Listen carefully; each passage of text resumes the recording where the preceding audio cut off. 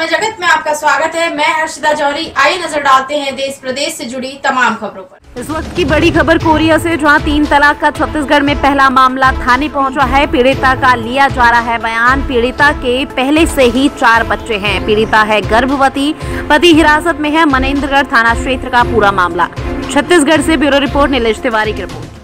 पर समय जगत एक संदेश पूरा देश। एक आगाज़ सच दिखाने का।